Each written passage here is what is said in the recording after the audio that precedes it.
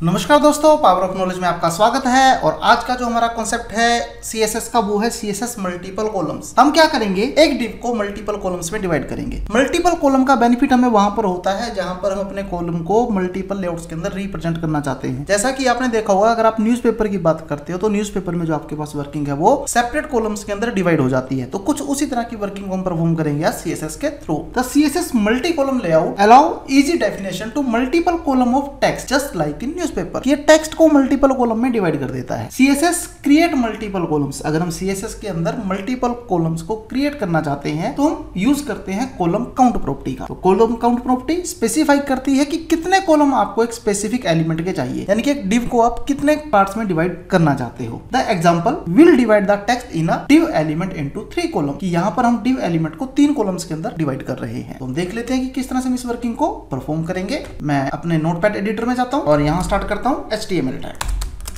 S को close किया portion के अंदर हेड टैग लिया हेड टैग को क्लोज किया स्टाइल टैग लिया स्टाइल टैग को क्लोज किया बॉडी टैग लिया और बॉडी टैग को क्लोज किया. अब सपोज़ कीजिए मेरे पास यहाँ पर एक डिव है, जिसको मैंने क्लास ली है सीएल के नाम की। इस डिव के अंदर मैं किसी भी वर्किंग को परफॉर्म करवा देता हूँ। सपोज़ कीजिए मैंने क्या किया, ये वर्किंग उठाई और अपने डिव के अंदर रख दी इसी तरह से मैंने यहाँ पर सीएल क्लास ली और सीएल क्लास को मैंने विड्थ दे दी 600 pixel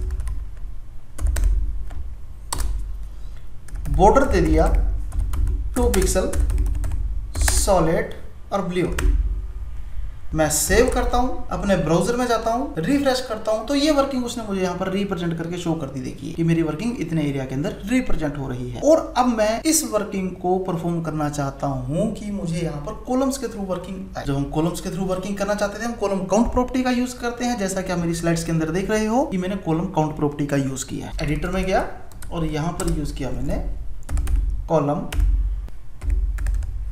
column dot count equal to three save तो मैंने यहाँ पर क्या कॉलम काउंट थ्री मैं सेव करता हूँ ब्राउज़र में जाता हूँ रिफ्रेश करता हूँ। तो ये देखिए, इसने मेरे डिव को तीन पार्ट्स के अंदर डिवाइड कर दिया।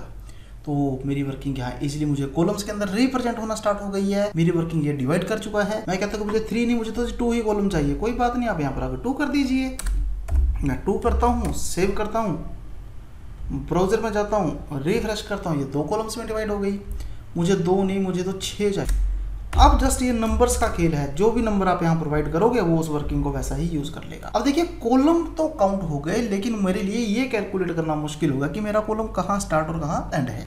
तो उस केस में भी हमारे पास कुछ प्रॉपर्टीज़ मिलती हैं, हम उन प्रॉपर्टीज़ का ज़िक्र कर लेते हैं कि कहाँ हम कौन सी प्रॉपर्टी को यूज़ करेंगे। तो नेक्स्ट हमारे पास यहाँ पर है gap between column gap between column एक कॉलम के बीच कितना गैप हो? तो आप अपने हिसाब से जितना मेरे यूज़ कर सकते हो, आपको यूज़ करना है कॉलम गैप प्रॉपर्टी हम यूज़ करते हैं कि किस तरह से हम इसको फॉलो कर पा रहे हैं।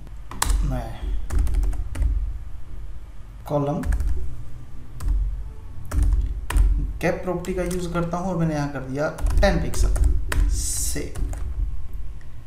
ब्राउज़र में गया, रिफ्रेश किया, मेरा गैप शो कर दिया।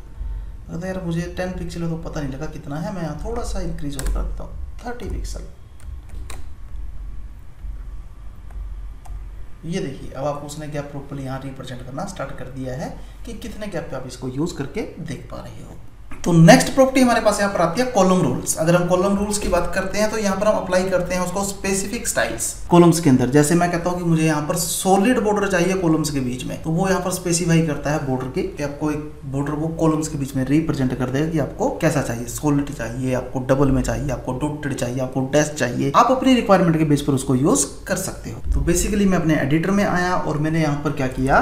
Column role style equal to मैं कर देता हूँ रोटेट सेव रिफ्रेश तो ये देखिए उसने आपको डॉट से रिप्रेजेंट कर दिया वर्किंग के अंदर कि आपको जो बॉर्डर है वो डॉट के अंदर रिप्रेजेंट हो गया है। आप यहाँ चाहते हो आप डैश के थ्रू करो, आप चाहते हो यहाँ पर आप इसको सॉलिड करो, आप चाहते हो आप डबल करो, आपके ऊपर डिपेंड करता है आपको वर्किंग कैसी चाहिए। इसी तरह से मैं इसको विर्थ प्रोवाइड कर सकता हूँ। अगर आप मेरी अगली स्लाइड में देखें तो वहाँ पर मैंने विर्थ का ही कॉलम यूज़ किया हुआ है और एक मैंने कलर का कॉलम यूज़ किया हुआ तो हम एक बार स्लाइड को देख लेते हैं। फिर मैं उन दोनों प्रॉपर्टीज़ का आपको एक साथ यूज़ करके रिप्रेजेंट कर दूँ तो ये देखिए, एक जगह मैंने कॉलम विर्थ को फॉलो किया है, दूसरी जगह मैंने कॉलम रूल कलर को फॉलो किया है। तो हम इन प्रॉपर्टीज़ को यूज़ कर लेते हैं। तो सेम रोल विर्थ मैं कहता हूँ जी, मुझे रोल की विर्थ चाहिए पाँच पिक्सल सेव रिफ्रेश तो इसने पाँच पिक्सल में रिप्रेजेंट कर दिए।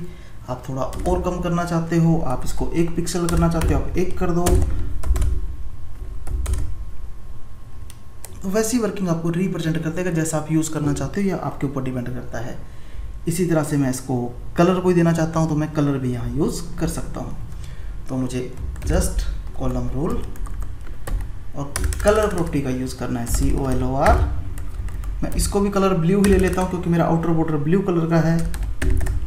और विर्थ में इसकी थोड़े से यहाँ पर कर देता हूँ पाँच पिक्सल और स्टाइल में ले लेता हूँ सॉलिड ताकि मेरा थोड़ा सा देखने मुझे अच्छा लगे। सेव बॉर्डर में दो पिक्सल ही यूज़ कर लेता हूँ मैंने आउटर दो पिक्सल ही यूज़ किया है। सेव रिफ्रेश तो देखिए इसने आपकी वर्किंग को डिवाइड करके रिप्रेजेंट कर दिया कि किस तरह से आप कॉलम में यूज़ कर सकते हो। लेकिन अब हम इस प्रॉपर्टी को बार बार यूज़ कर रहे हैं। यार ये इस तरह से चले, ऐसा है ऐसा है। क्यों ना कुछ हमारे पास ऐसे रूल हो कि हम वर्किंग को एक ही उसके अंदर दिखा तो हम यहाँ पर करते हैं column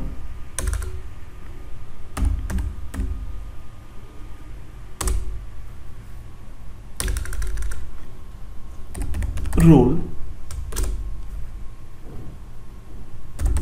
solid two pixel red मैंने जानबूझ के कलर को चेंज किया है और मैं इतनी प्रॉपर्टी यूज़ कर रहा हूँ। चलो मैं उसी के साथ कर लेता हूँ। मेरी ओवरलैप कर जाएगी और लास्ट की प्रॉपर्टी वर्किंग करेगी। मैंने फाइव पिक्सल कर दिया है। सेव तो ये देखिए, इसने वर्किंग को उसी को परफॉर्म किया जो इसको लास्ट में मिली है। और आप सिंगल एक लाइन से भी उस वर्किंग को इजीली यहाँ पर परफॉर्म करवा पाए हो। तो फ्रेंड्स हमारी आज की क्लास में इतना ही था। Thank you thank you very much